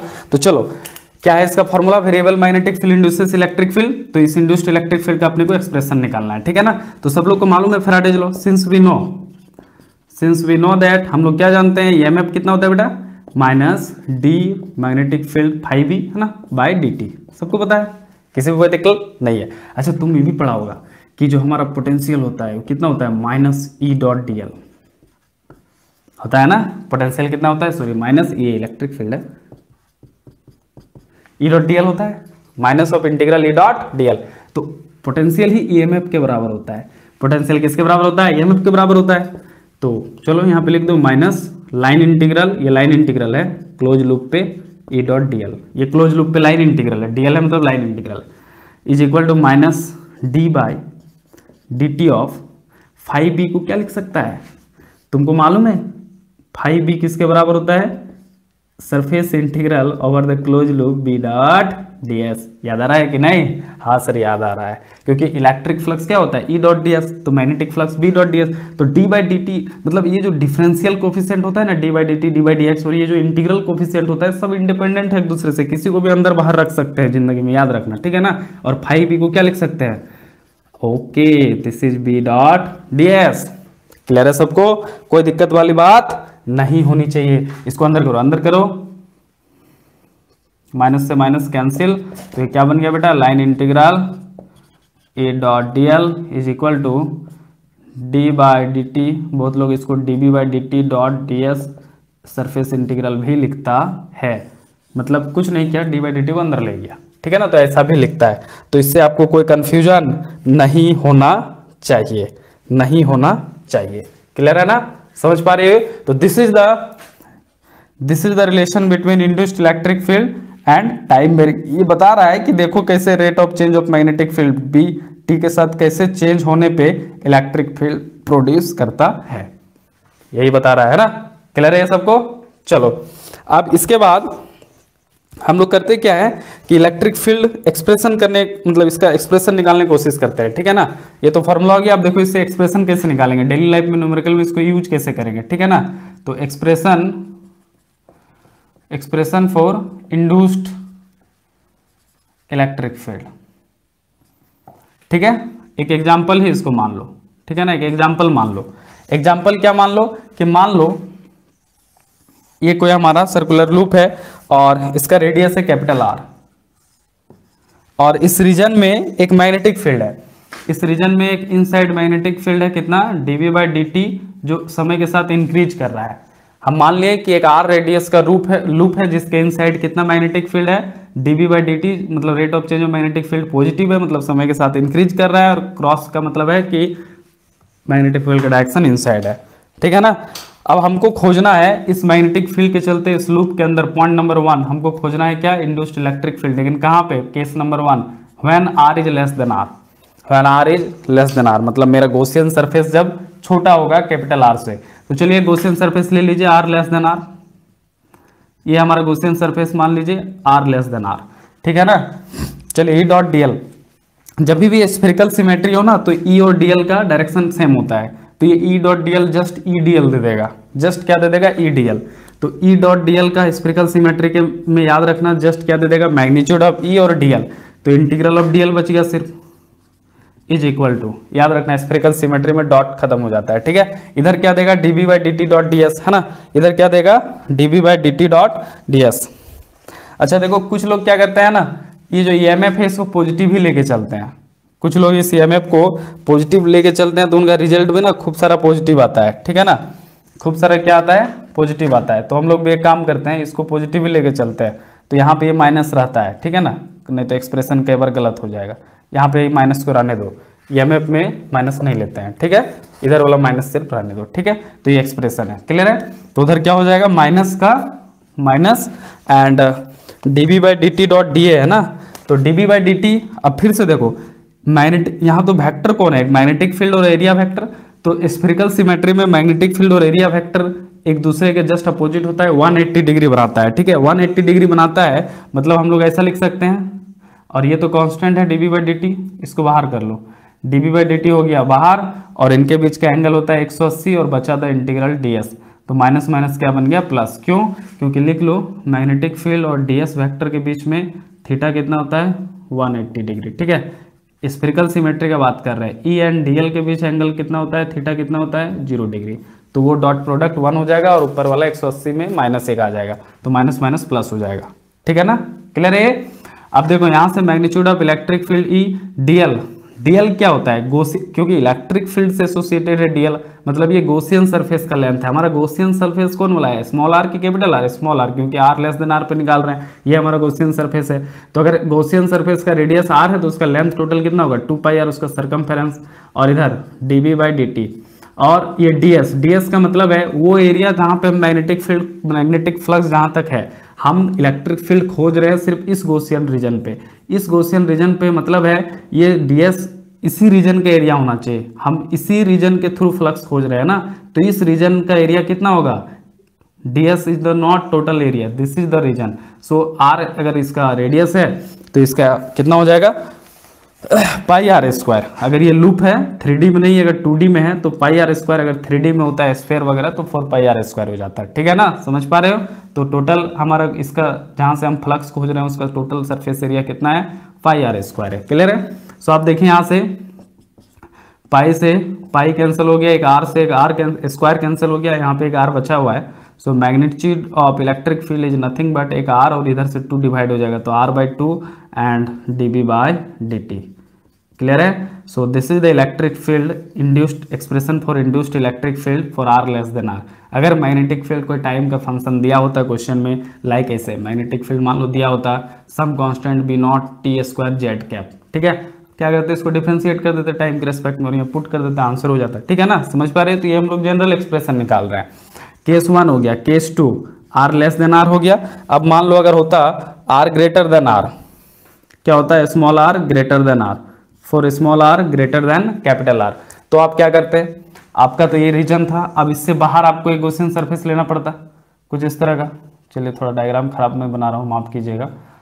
तो कुछ गौसियन सरफेस ऐसे लेना पड़ता है और इसका रेडियस कितना मान लेते हैं आप? स्मॉल आर मान लेते हैं। ये हमारा पूरा आउटसाइड वाला गौसियन सरफेस है, ठीक है? थोड़ा डायग्राम अच्छा से बनाना तुम। तो उस उस दौरान क्या होता? है ये देखो इलेक्ट्रिक फ़ील्ड डीएल डीएल हो जाता है two pi R is equal to ये तो डीबी बाई डी आता, ठीक है, सब कहानी यहाँ तक सही था। डीएस डीएस क्या है? वो हमारा एरिया है जहाँ तक हम फ्लक्स खोज रहे हैं। अभी हम कहाँ तक फ्लक्स खोज रहे हैं? पूरा आउटसाइड अभी हमारा क्वेश्चन सरफेस है ना? तो पूरा आउटसाइड तक हम फ्लक्स खोजने की कोशिश कर रहे हैं। पूरा इंटायर इस रीजन में खोजने की कोशिश कर रहे हैं। लेकिन मैग्नेटिक फ़ील्ड जो है ना, खाली इसी रीजन पे है कैपिटल आर वाला ही रीजन पे है। तो अगर मैग्नेटिक फ़ील्ड अगर यहीं तक है तो इंड्यूस्ड इलेक्ट्रिक फ़ील्ड का जो फ्लक्स होगा, वो मैक्सिमम यहीं तक हो सकता है। इससे बाहर हो ही नहीं सकता है। तो ये जो डीएस होगा ना आर ग्रेटर देन आर के लिए, वो मैक्सिमम क्या हो सकता है? कैपिटल आर रेडियस वाला जो स्पेयर है, वहीं तक का हो सकता है फ्लक्स इससे बाहर फ्लक्स मिलेगा ही नहीं। भले हम खोज यहाँ तक क्यों नहीं रहे, लेकिन फ्लक्स तो यहीं तक मिलेगा ना, जहाँ तक हमारा इलेक्ट्रिक मैग्नेटिक फ़ील्ड चेंज हो रहा है। तो मैग्नेटिक फ़ील्ड तो हमारा कैपिटल आर रेडियस का लुक तक ही चेंज हो रहा है। तो फ्लक्स इलेक्ट्रिक फ़ील्ड का इससे बाहर कहाँ से मिलेगा? इसके अंदर ही मैक्सिमम मिल सकता है। तो भले हम लोग आर ग्रेटर देन आर का रीजन में जा रहे हैं इलेक्ट्रिक फ़ील्ड खोज रहे हैं गोसियन सरफेस मेरा बाहर तक है, उसका ए टू पाई आर ही होगा, है ना? क्योंकि गोसियन सरफेस तो मेरा है, हम जहाँ तक मानेंगे वहाँ तक का हम लेंथ लेंगे। लेकिन फ्लक्स तुम्हारे हाथ में नहीं है। जहाँ तुम खोज, भले क्यों नहीं दिल्ली तक खोज रहा है, लेकिन है तो उत्तर प्रदेश तक ही, है ना? तो यहीं तक ही फ्लक्स मिलने वाला है, ठीक है? सो यहाँ पे ये माइंड करना है। तो यहाँ पे इस बार जो एरिया होगा वो पाई कैपिटल आर का स्क्वायर होगा, क्योंकि मैक्सिमम फ्लक्स यहीं तक मिलेगा, इससे बाहर फ्लक्स उधर मिलने वाला नहीं है। Mind it this is the key point this is the beauty of this question इस क्वेश्चन में ये याद रखना था, और कुछ भी इसमें ट्रिक नहीं है, ठीक है ना? ये ख्याल रखना है कि फ्लक्स तुम खोज कहाँ तक रहे हो, वहाँ तक है कि नहीं? जैसे R less than R region में फ्लक्स हम लोग यहीं तक खोज रहे थे, और यहीं तक फ्लक्स फ्लक्स तो पूरा इंटायर रीजन में है तो यहाँ तक तो ज़रूर था, इसलिए वहीं तक इसमें पाई आर स्क्वायर ही लेनी है लेकिन यहाँ पे खोज रहे पूरा आउटसाइड तक, लेकिन मिलेगा मैक्सिमम कैपिटल आर रेडियस तक ही। दैट्स वाई क्लियर है? चलो, अब यहाँ से देखो सिर्फ़ पाई कटेगा इस बार, क्योंकि ये स्मॉल आर कैपिटल आर तो कटेगा नहीं। तो कितना आ जाएगा यहाँ से इलेक्ट्रिक फ़ील्ड का एक्सप्रेशन यहाँ से इलेक्ट्रिक फ़ील्ड का एक्सप्रेशन आ जाएगा। ये capital R square two time small R और ये D B by D T clear है? ठीक है ना? अच्छा अगर हम लोग एट द सरफेस खोजे तो बस इस स्मॉल आर को कैपिटल आर बना देंगे। क्योंकि सरफेस का मतलब क्या है कि गोसियन सरफेस उठ के सरफेस पे आ जाएगा। मतलब ये जो स्मॉल आर है उठ के कहाँ पे आ जाएगा? स्मॉल आर कैपिटल आर के बराबर हो जाएगा। तो point third point third at R equal to R मतलब सरफेस सरफेस पे क्या होगा? ये जो आउटसाइड वाला है, उसमें स्मॉल आर की जगह खाली कैपिटल आर रख दो। तो एट सरफेस इलेक्ट्रिक फ़ील्ड कितना हो जाएगा? स्मॉल आर की जगह कैपिटल आर रख देगा तो आर आर कट जाएगा। तो आर बाई टू हो जाएगा और ये डीबी बाई डी टी यहाँ से फॉलो हुआ, ठीक है? तीनों रीजन में मिल गया R less than R at the surface और greater than R inside at the surface और आउटसाइड मिल गया। अब इसको प्लॉट करो। इसको स्मॉल आर के रिस्पेक्ट में प्लॉट करो। देखो, एक मज़ेदार ग्राफ आएगा अभी। ठीक है ना? ये सब एग्ज़ाम में आता है। जितना पढ़ा रहे हैं सब सब एग्ज़ाम में आता है। ठीक है? कुछ भी फालतू नहीं पढ़ा रहे और इंटरव्यू में पूछता है। ठीक है ना? सो चलो स्क्रीनशॉट ले लो। ले लिया स्क्रीनशॉट ओके आगे बढ़ते हैं। अब इसको प्लॉट करते हैं, ठीक है?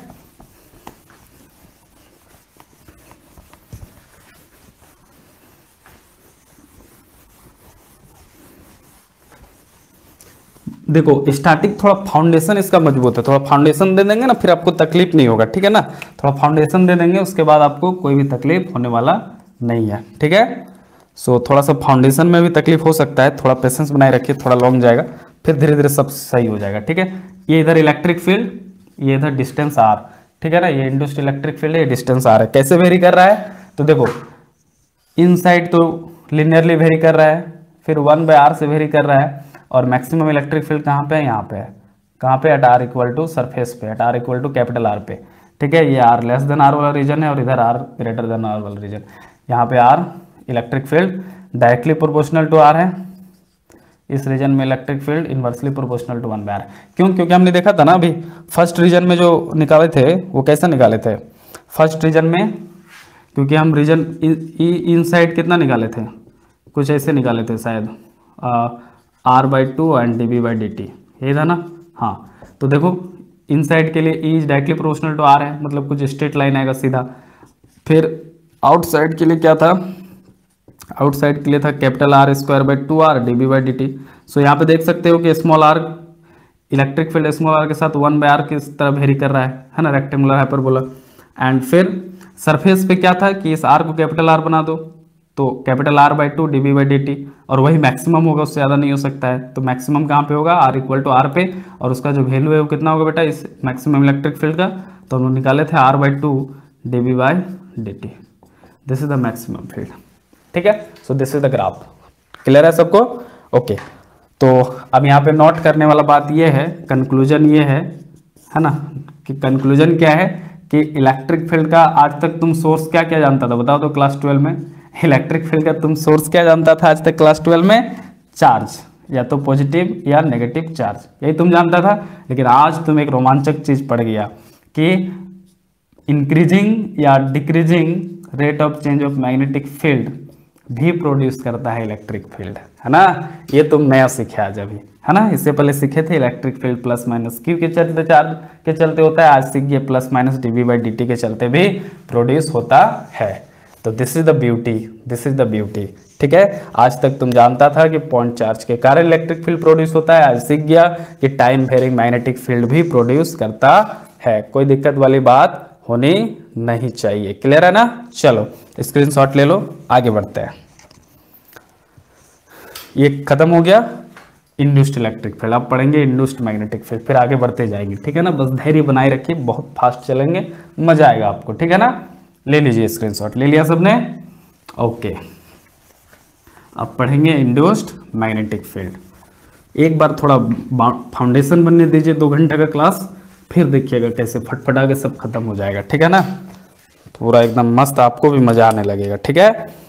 सो नेक्स्ट है इंडोस्ड मैग्नेटिक फ़ील्ड देखो वेरिएबल इलेक्ट्रिक फ़ील्ड क्या इंड्यूस्ड करता है? मैग्नेटिक फ़ील्ड जैसे अभी अभी उल्टा जस्ट इसका उल्टा। अभी तक क्या पढ़े हम लोग कि variable magnetic field produces electric field अब क्या पढ़ेंगे? Variable electric field produces magnetic field देखेंगे कैसे होता है ना? क्या लिखेंगे यहाँ पे? वेरिएबल इलेक्ट्रिक फ़ील्ड जस्ट उल्टा कहानी चल रहा है भैया एक दूसरे का, है ना? Variable electric field produces magnetic field कैसे प्रोड्यूसेस मैग्नेटिक फ़ील्ड तो अभी हम लोग सिंस वी नो सिंस हम लोग अभी ये पढ़ चुके हैं कि कैसे मैग्नेटिक फ़ील्ड प्रोड्यूस करता है इलेक्ट्रिक फ़ील्ड ये अभी तो हम लोग पढ़े, क्या पढ़े? Line integral E dot D L is equal to minus D B by D T dot D S ये वेक्टर लगा दो, हम भूल जाते हैं तो कोई बात नहीं। भूल भी गए मतलब तुम समझ लेना वेक्टर में ही है। तो ये अभी हम लोग पढ़ चुके हैं। इसी का सेम एनालॉजी लेंगे। An equation an equation analogous an equation analogous to the above equation an equation analogous to the above equation for obtaining magnetic field can be written as, can be written as. एक इसी का analogous equation लिखेंगे, देखो कैसे लिखेंगे। ई e के जगह खाली बी कर दो तो बी डॉट डी एल क्योंकि इंड्यूस्ड मैग्नेटिक फ़ील्ड इस बार निकालना है ना इज़ इक्वल टू इस बार इधर प्लस होता है, ठीक है? इधर कोई माइनस उनस नहीं होता है तो प्लस होता है, ठीक है? प्लस साइन हो जाएगा और ये डी वी बाई डी के डी क्या बन जाएगा? डी बाई डी टी बन जाएगा और ये डॉट डी एस बन जाएगा। ठीक है ना? बस खाली ए को बी से डी को ए से रिप्लेस कर दिए लेकिन ये ना इक्वेशन डायमेंशनली करेक्ट नहीं है। डायमेंशनली करेक्ट तभी होता है जब यहाँ पे एक फैक्टर मल्टीप्लाई करते हैं mu naught into F naught जो वन बाई सी स्क्वायर के बराबर होता है। और ये किसके बराबर है? वन बाई सी स्क्वायर के बराबर है। सबको मालूम है ये चीज़। तो यहाँ पे मिनोट एप्सिलॉन नॉट इसलिए से मल्टीप्लाई करते हैं डायमेंशनली बैलेंस करने के लिए, ठीक है? तो this is the induced magnetic field expression अब ऐसे ही इसका भी तीनों रीजन पे निकाल सकते हैं, है ना? समझ पा रहे हैं ना? इसका भी हम लोग वैसे ही सेम ग्राफ निकाल सकते हैं मतलब सेम चीज़ कैलकुलेट कर सकते हैं, लेकिन अभी कैलकुलेट नहीं करेंगे। इससे पहले और इसके बारे में जानते हैं, क्या है ये? This is known as this is known as Maxwell's laws this is known as Maxwell laws ये लॉ जो था, ये किसने दिया था? मैक्सवेल ने दिया था। ये वाला जो एनालॉगस इक्वेशन को जो इसके एनालॉगस इस इक्वेशन को किसने ड्राइव किया था? मैक्सवेल ने किया था। इसलिए इसको मैक्सवेल लॉ भी बोलते हैं, ठीक है? अब देखते हैं एक मज़ेदार बात। इसको स्क्रीनशॉट लो। इसको स्क्रीनशॉट लो। ले लिया? चलो, अब देखते हैं एक मज़ेदार बात। इसी में अभी, इसी टॉपिक में चल रहा है। इंड्यूस्ड मैग्नेटिक फ़ील्ड में भी यहाँ तक क्या आगे चल रहा है। अब लिखो from Ampere circuital law we know from Ampere circuital law from Ampere circuital law Ampere circuital law से हम लोग क्या जानते हैं? सबको मालूम है। Line integral B dot D L is equal to mu naught time I enclose equation number one conduction current उसी को बोलते हैं। ठीक है ना? अब अभी हम लोग क्या पढ़े? ये तो इक्वेशन वन हो गया। अल्सो अभी हम लोग क्या पढ़े? इंड्यूस्ड इलेक्ट्रिक फ़ील्ड का लाइन इंटीग्रल क्या पढ़े? B dot D L is equal to अभी अभी पढ़े, याद करो, क्या पढ़े? अभी अभी हम लोग पढ़े B dot D L equal to B naught epsilon naught D by D T dot D S equation two पढ़े ना? अच्छा इसको ऐसा भी तो लिख सकते हैं ना, ये दरअसल में है क्या? ये तो है D phi by D T क्या ये? D phi by D T है ना? ये दरअसल है क्या? D phi by D T है। समझ पा रहे हो ना? D phi E by D T rate of change of electric flux ठीक है ना? क्योंकि फाइव ई को ही तो लिखते हैं integral E dot D S तो ये चीज़ यहाँ पे आ जाएगा डी बाई डी टी रह जाएगा। क्लियर है? सो इस पर कंफ्यूजन नहीं होना चाहिए। अब इक्वेशन वन टू को कंबाइन करो। मतलब कंबाइनिंग करो इक्वेशन वन टू को जोड़ो तो क्या मिलेगा? B dot D L equal to mu naught I conduction plus mu naught epsilon naught and D phi E by D T D phi by D T या फिर ऐसे लिख लो कोई दिक्कत नहीं या फिर mu naught I C plus mu naught epsilon naught integral D by डॉटी D T dot D S ठीक है ना? ये इक्वेशन आएगा। सो so, भैया इस इक्वेशन में तुम यहाँ पे देखो this is called Maxwell Ampere's law this is called Maxwell Ampere's law Maxwell Ampere's law why it is called Maxwell Ampere's law क्योंकि ये वाला किसका है? ये मैक्सवेल का है और ये कंट्रीब्यूशन किसका है? सॉरी ये एम्पियर का है और ये कंट्रीब्यूशन मैक्सवेल का है। That's why it's called Maxwell Ampere's law and this is called modified Maxwell's equation क्योंकि इसमें मॉडिफिकेशन किया गया एम्पियर्स ने जो कहा था, सिर्फ़ B dot D L equal to mu naught I enclose correct मतलब ये कंप्लीट नहीं था। ये कंप्लीट मैग्नेटिक फ़ील्ड का इक्वेशन नहीं था। कंप्लीट मैग्नेटिक फ़ील्ड का इक्वेशन है। ठीक है ना? तो अब यहाँ पे और एक बहुत सारा टर्म हम लोग डिफाइन करेंगे। फ़िलहाल इसको क्या कहते हैं? This is called Maxwell Ampere's law and यहाँ पे क्या है? Where B is the resultant magnetic field ये जो बी है, वो रिजल्टेंट मैग्नेटिक फ़ील्ड है caused by electric current as well as variable electric field ये बी क्या है? रिजल्टेंट मैग्नेटिक फ़ील्ड है। बी क्या है? रिजल्टेंट मैग्नेटिक फ़ील्ड है। किसके चलते? एक तो करंट के चलते देखो करंट वाला पार्ट के चलते भी जनरेट हो रहा है और ये किसके चलते? वेरिएबल इलेक्ट्रिक फ़ील्ड के चलते भी जनरेट हो रहा है। वेरिएबल इलेक्ट्रिक फ़ील्ड के चलते भी जनरेट हो रहा है है ना? तो आज से तुम सीख गया। इससे पहले आज तक कंक्लूजन यहाँ पे बेटा क्या है? कंक्लूजन यही है नॉट कंक्लूजन यही है कि आज तक तुम बी का सोर्स क्या जानता था? मैग्नेटिक फ़ील्ड का सोर्स आज तक तुम क्या जानता था? करंट जानता था। कंडक्शन करंट की करंट बाहर है तो मैग्नेटिक फ़ील्ड जनरेट होगा हर डिस्टेंस पे। ये तो तुम पढ़ा था Ampere's law B S L law and all पढ़ा था ना? लेकिन आज तुम क्या सीख गया कि नहीं कंडक्शन करंट के साथ साथ चेंजिंग मैग्नेटिक फ़ील्ड भी प्रोड्यूस कर इलेक्ट्रिक फ़ील्ड भी प्रोड्यूस करता है मैग्नेटिक फ़ील्ड तो भैया चेंजिंग चाहे वो डिक्रीज कर रहा हो या इंक्रीज कर रहा हो, इसीलिए हमने यहाँ plus minus D by D T लिखा है। तो याद इंक्रीजिंग और डिक्रीजिंग मतलब इंक्रीज कर रहा हो चाहे डिक्रीज उसको चेंज तो बोलते हैं सिंपल भाषा में। तो changing electric field also produces magnetic field ये बेटा तुमने सीखा। इससे पहले सीखा था कि चार्ज के साथ साथ चेंजिंग मैग्नेटिक फ़ील्ड भी इलेक्ट्रिक फ़ील्ड प्रोड्यूस करता है। आज क्या सीखा कि करंट के साथ साथ चेंजिंग इलेक्ट्रिक फ़ील्ड भी मैग्नेटिक फ़ील्ड प्रोड्यूस करता है। क्लियर है? कोई दिक्कत वाली बात? नहीं है। ठीक है ना? चलो देखो थोड़ा और इसको अच्छा से क्या लिखेंगे अभी। यहाँ पे और एक पॉइंट नोट करने वाला क्या है? इसको देखो तो ढंग से देखो कैसे लिखेंगे अभी। इसको करंट के फॉर्म में लिखने की कोशिश कर रहे हैं। B dot D L equal to mu naught अगर हम लोग मी नॉट कॉमन ले लें तो इसको आई सी प्लस क्या बचेगा? यहाँ से भी कॉमन आ जाएगा तो बचेगा epsilon naught D phi E by D T ऐसे कुछ बचेगा ना? हाँ। मी नॉट कॉमन ले लिए तो यहाँ आईसी बचेगा, यहाँ मी नॉट कॉमन आ चुका है epsilon D phi by D बचेगा। ये देखो mu naught I C plus अच्छा करंट के साथ तुम किसको जोड़ सकते हो? करंट को ही जोड़ सकते हो। डायमेंशनल एनालिसिस क्या बोलता है? डायमेंशनल एनालिसिस बोलता है करंट के मतलब किसी सेम फ़िज़िकल क्वांटिटी के साथ ही सेम फ़िज़िकल क्वांटिटी को तुम जोड़ सकते हो। तो आइस करंट है ये तो इसके साथ डेफिनेटली कोई करंट ही ये जुड़ा होगा according to the dimensional analysis तो इसको ना हम लोग बोलते हैं डिस्प्लेसमेंट करंट हालाँकि ये यहाँ पे डिस्प्लेसमेंट होता कुछ नहीं है। डिस्प्लेसमेंट वर्ड को मतलब मिस वर्ड है ये। यहाँ पे किसी तरह का कोई डिस्प्लेसमेंट नहीं होता है करंट के साथ। ठीक है ना? बस वो एक मिस वर्ड है। ठीक है? इसको ध्यान रखना।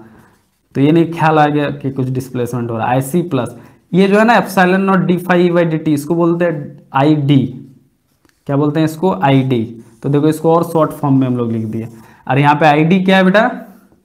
आई डी किसके बराबर है? Epsilon naught D phi D को पुट किया हम लोग। है ना? या इसी को ऐसे भी लिख सकते हैं epsilon naught D phi by D T को क्या लिख सकते हैं?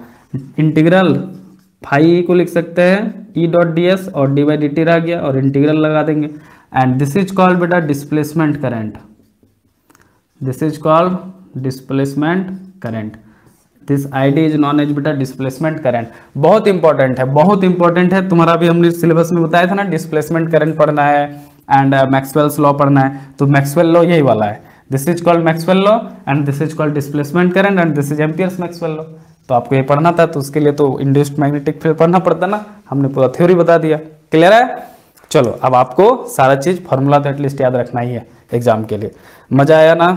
This is caused by variable और ये डिस्प्लेसमेंट करंट वाला जो टर्म है वो किसके चलते आ रहा है? वेरिएबल इलेक्ट्रिक फ़ील्ड के चलते आ रहा है। एग्ज़ाम में पूछ लिया, अगर ऐसे थ्योरेटिकल बेसिक क्वेश्चन तब तो तुम मार ही दोगे। ठीक है ना? समझ रहे हो? थ्योरी समझ रहे हो ना? हाँ भैया थ्योरी समझ रहे हैं। चलिए स्क्रीनशॉट लीजिए यहाँ तक। जल्दी से स्क्रीनशॉट लीजिए।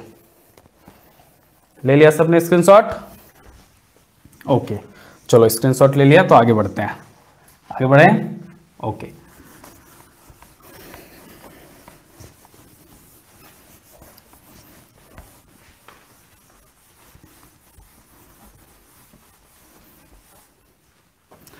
ओके तो एक सवाल है अभी जैसे हम लोग इलेक्ट्रिक फ़ील्ड वाला में सवाल किए थे ना, वैसे एक सवाल है एग्ज़ाम्पल है। क्या एग्ज़ाम्पल है?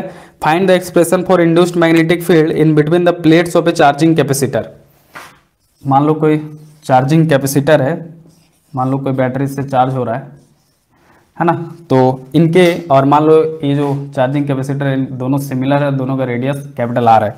तो इनके बिटवीन में, यहाँ पे यहाँ पे आपको क्या निकालना है? इंड्यूस्ड मैग्नेटिक फ़ील्ड इस रीजन पे।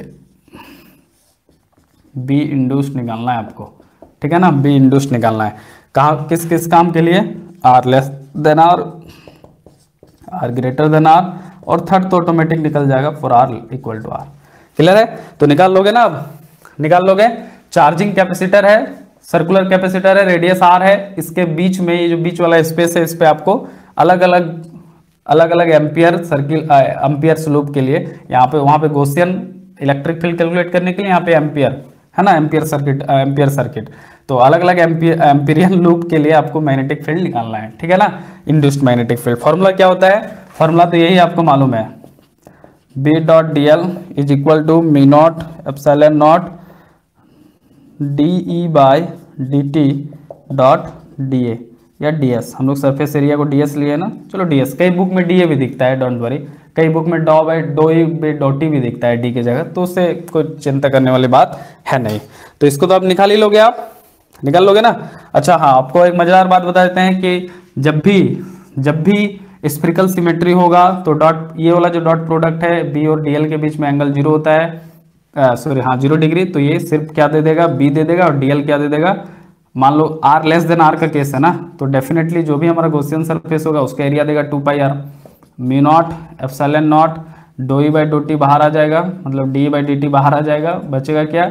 डी एस है ना? क्या बचेगा? डी एस यहाँ पे इलेक्ट्रिक फ़ील्ड और सरफेस एरिया के भी बीच का इंटीग्रल ज़ीरो होता है आ, आ, मतलब एंगल ज़ीरो डिग्री होता है तो डॉट प्रोडक्ट यहाँ पे भी पॉजिटिव हो जाता है इलेक्ट्रिक फ़ील्ड वाला केस में। मैग्नेटिक वाला में वन होता है ठीक है ना? समझ पा रहे हो? और डी एस डी एस क्या है? यहाँ पे D S pi R square हो जाएगा। हम लोग देखे थे अभी आर लेस देन आर का केस हो तो ये जो एरिया होगा जिसके थ्रू फ्लक्स पार होगा, वो pi R square less than, क्योंकि छोटा अगर लेंगे तो छोटा में तो इनके चलते पूरा फ्लक्स पार होगा ना। लेकिन बियॉन्ड लेंगे, बड़ा लेंगे, इतना बड़ा ले लेंगे तो फिर नहीं होगा। मतलब ज़्यादा दूर तक पास नहीं होगा, मैक्सिमम कैपिटल आर तक ही पास होगा फ्लक्स, क्योंकि सर्कुलर प्लेट वहीं तक है, वहीं तक हमारा इलेक्ट्रिक फ़ील्ड है, ठीक है ना। और यहाँ मैग्नेटिक फ़ील्ड किसके चलते मतलब मिल रहा है, तुमको मालूम है ना वेरिएबल इलेक्ट्रिक फ़ील्ड के चलते, क्योंकि इस रीजन में ना करंट नहीं है। यही तो लोचा था ना। यही लोचा था कि बेटा करंट तो इस रीजन में ही नहीं है तो स्पेस है फ्री स्पेस है। तो अगर यहाँ करंट नहीं है तो मैग्नेटिक फ़ील्ड कहाँ से आया? तो भैया, चूँकि दो प्लेट है, दोनों प्लेट में पॉजिटिव नेगेटिव चार्ज डेवलप हो जाएगा तो इस रीजन में ना इलेक्ट्रिक फ़ील्ड डेवलप हो जाएगा, जो समय के साथ चेंज होगा। क्यों समय के साथ चेंज होगा? अभी भी सवाल आया। तो भैया धीरे धीरे ना प्लेट में चार्ज जमा होगा, जी। बैटरी लगाने के बाद इन प्लेट में धीरे धीरे चार्ज जमा होगा। तो पहले कम चार्ज था, फिर ज़्यादा चार्ज फिर तो इस रीजन का इलेक्ट्रिक फ़ील्ड धीरे धीरे बढ़ेगा, या घटेगा। जब चार्जिंग करेगा, धीरे धीरे इस रीजन में का इलेक्ट्रिक फ़ील्ड घटेगा, बढ़ेगा। जब डिस्चार्जिंग करेगा तो रीजन का धीरे धीरे इलेक्ट्रिक फ़ील्ड घटेगा। तो बढ़ेगा या घटेगा इलेक्ट्रिक फ़ील्ड मतलब क्या हो गया? चेंजिंग इलेक्ट्रिक फ़ील्ड हो गया समय के साथ। तो समय के साथ अगर चेंजिंग इलेक्ट्रिक फ़ील्ड होगा तो इस रीजन में उसके चलते एक मैग्नेटिक फ़ील्ड प्रोड्यूस होगा। लेकिन इसी बात को लोग पहले मैक्सवेल का इक्वेशन देने से पहले वेरीफाई नहीं कर पा रहे थे। क्यों नहीं? लोग ऐसा समझ रहे थे, खाली करंट वाला समझ रहे थे ना कि करंट ही मैग्नेटिक फ़ील्ड प्रोड्यूस करता है। तो बोला, यार, इस बीच में तो खाली स्पेस है तो करंट ही नहीं मैग्नेटिक फ़ील्ड कहाँ से आएगा? है ना? समझ रहे हो?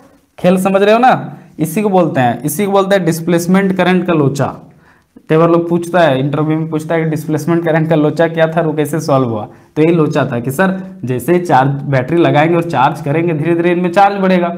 इस पर पॉजिटिव इस पर नेगेटिव तो धीरे धीरे चार्ज पॉजिटिव नेगेटिव बढ़ेगा, हम लोग जानते हैं कहीं पे पॉजिटिव नेगेटिव चार्ज हो पैरेलल प्लेट कैपेसिटर, उसके बीच में इस रीजन में इलेक्ट्रिक फ़ील्ड डेवलप होगा, वो भी समय के साथ घटेगा, बढ़ेगा, चार्जिंग, डिस्चार्जिंग के केस में। तो changing electric field produces magnetic field that's why clear है? Okay so R less than R का केस में है बी निकाल लोगे? बी कितना आ जाएगा? देखो काट उठ के आ जाएगा? R by two mu naught epsilon naught D E by D T clear है?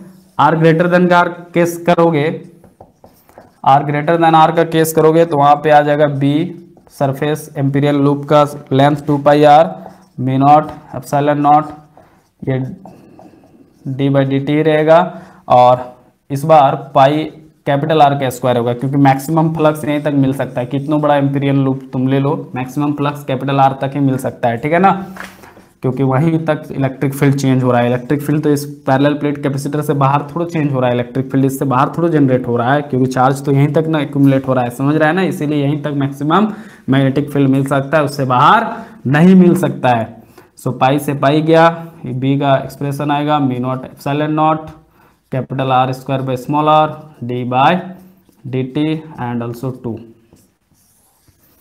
ठीक है?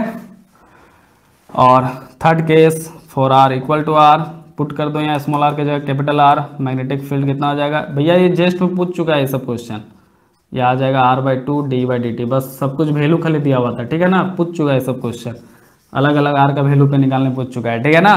तो हमेशा एक general R greater than R के लिए निकाल लो, उसके बाद R equal to four R बोले टू आर बोले, जेस्ट में two R one point five R ये सब के लिए कैलकुलेट करवाया है, ठीक है? तो पहले आर ग्रेटर देन आर के लिए जनरल निकाल लो, फिर स्मॉल आर की जगह पुट कर दो, जहाँ के लिए निकालना है। ठीक है ना? समझ पा रहे हो? तो ये general R greater than R का फॉर्मूला अगर याद है तुमको, तुम ये स्मॉल आर की जगह जितना बोला है, जहाँ four four R four R two R one point five R three by two R put कर दो यहाँ पे। लेस देन आर के लिए जनरल फॉर्मूला याद रखो। उसके बाद जितना इनसाइड बोले स्मॉल आर को खाली चेंज करते रहो। और इनसाइड तो फिक्स है कॉन्स्टेंट है ना? वो चेंज नहीं होगा। जेस्ट में सब क्वेश्चन इस इंड्यूस्ड इलेक्ट्रिक फ़ील्ड और मैग्नेटिक फ़ील्ड जो कैलकुलेट करवाए ना, जेस्ट में पूछा जा चुका है, ठीक है? अभी प्रीवियस ईयर लगा लेना, देख लेना, ठीक है? या फिर हम खुद करवा देंगे। खुद तुम करो तो ज़्यादा बेहतर है, ठीक है? इसका भी ग्राफ कैसे ड्रॉ होगा बेटा? इसका भी ग्राफ अगर बी इंड्यूस्ड मैग्नेटिक फ़ील्ड का अगर तुम बात करेगा उसका मॉड और आर के साथ तो ये भी देखो इसे सेम जैसे इलेक्ट्रिक फ़ील्ड का था। यहाँ पे मैक्सिमम होगा सरफेस पे, है ना? और यहाँ पे मैग्नेटिक फ़ील्ड डायरेक्टली प्रोपोर्शनल होगा आर के और इधर क्या होगा? इनवर्सली प्रोपोर्शनल होगा आर के देख लो लेस देन पे डायरेक्टली प्रोपोर्शनल है आर के ग्रेटर देन पे इनवर्सली प्रोपोर्शनल है आर के और सरफेस पे this value is the maximum maximum value is the mu naught epsilon naught capital R by two and D by D T this is the maximum value at R equal to R this is what clear है? कोई दिक्कत वाली बात नहीं है sir नहीं है ना? चलिए, ले लीजिए स्क्रीनशॉट और ये इंड्यूस्ड मैग्नेटिक फ़ील्ड में यहाँ पे क्या हुआ? समाप्त हुआ। अब इसके बाद हम लोग जाएँगे। कहाँ पे जाएँगे? मैक्सवेल फ़ील्ड इक्वेशन में जाएँगे। कहाँ पे जाएँगे? मैक्सवेल फ़ील्ड इक्वेशन में जाएँगे और बहुत जल्द हम लोग का मैक्सवेल फ़ील्ड इक्वेशन खत्म होने वाला है। क्लियर है ना? चलो स्क्रीनशॉट ले लो। ले लिया सबने screenshot okay